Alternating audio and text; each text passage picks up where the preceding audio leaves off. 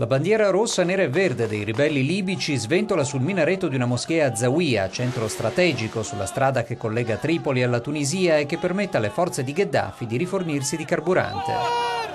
L'avanzata delle milizie ribelli in questo porto sul Mediterraneo è la novità più rilevante in settimane di combattimenti, ma il fronte resta fluido, il regime libico nega che la città sia caduta nelle mani degli insorti e anche questi ultimi ammettono che i cecchini di Gheddafi sono ancora postati sui tetti degli edifici più alti. Si combatte anche per Gariano, 80 km a sud di Tripoli. Se i ribelli dovessero assumerne il controllo, accerchierebbero la capitale. Nella Libia orientale lo snodo petrolifero di Brega continua a essere presidiato dalle milizie del Rais. Gli insorti mantengono la pressione ma vogliono limitare le perdite dopo le 16 vittime subite negli ultimi tre giorni.